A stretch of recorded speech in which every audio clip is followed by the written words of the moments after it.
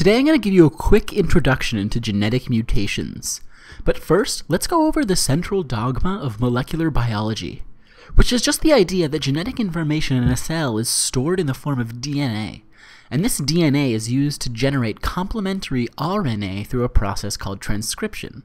That RNA is then used to synthesize a corresponding protein through the process of translation. So looking at a quick example, our short DNA strand here will be used to generate an RNA strand. Remember that A pairs with U, or T, and C pairs with G. Next, our RNA will be used to generate protein through translation. And remember that during this process, RNA nucleotides are read in groups of three, called codons, in order to generate corresponding amino acids. Now, just very generally, we say that mutations have the effect of making this synthesized protein not turn out quite right. So I'm going to give a quick shout out to sickle cell disease, which is an example of a disease that's caused by a genetic mutation.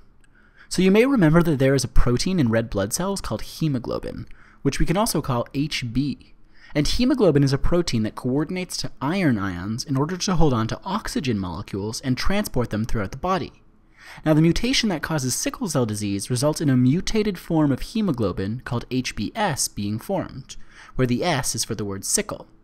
And the difference between normal hemoglobin and HBS is that one glutamate amino acid residue is being replaced with a valine amino acid residue. And this small change results in all of these mutated HBS proteins aggregating together in a red blood cell, which makes it very difficult for that red blood cell to transport oxygen effectively. Now, just a side point, remember that red blood cells are initially generated from hematopoietic stem cells through a process called hematopoiesis. So, where are mutations found, and how did they come up in the first place? Well, let's look at a couple different possible mistakes that could lead to an incorrectly produced protein.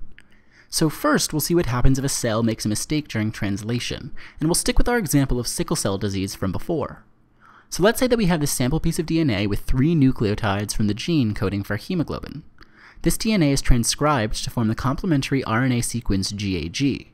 Now that GAG would normally correspond to a glutamate residue during translation, but a mistake during translation might lead to a valine residue being translated instead to produce the mutated hemoglobin associated with sickle cell disease.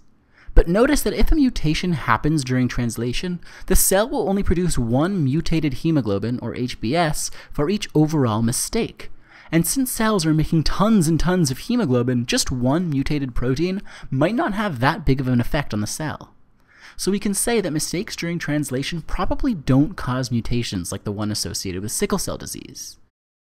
So next, we'll look at mistakes during transcription.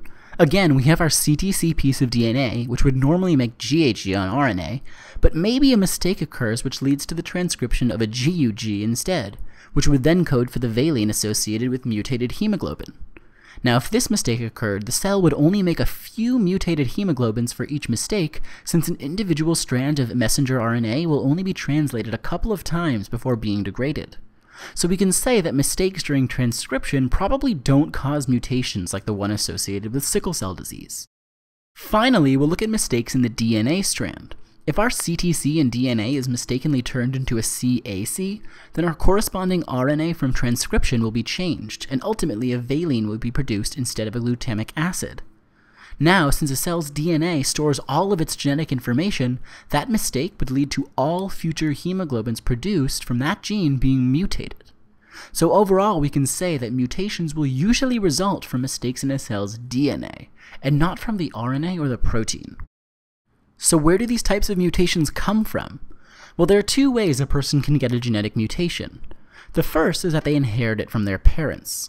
Remember that DNA is passed down from parents to offspring, so if we have a mutated father here, then there's a good chance that at least one of his kids will inherit that mutated gene, the same way that the child might inherit any amount of that parent's DNA.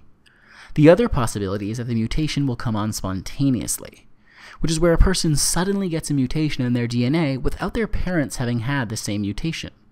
And spontaneous mutations can come from many different sources, with just a few examples being from DNA replication errors, environmental factors like certain poisons, or it's also possible that genetic mutations can come on entirely randomly.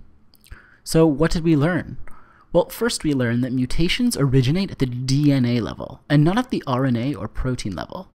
But the effects of a mutation, like the example we gave with sickle cell disease, are found with problems with the proteins that are ultimately expressed by the mutated DNA. Now, like every rule, there are a couple of exceptions to this one, but we can say that the effects of a mutation are usually found at the protein level. And finally, we learned that mutations are either inherited from a parent or come on entirely spontaneously.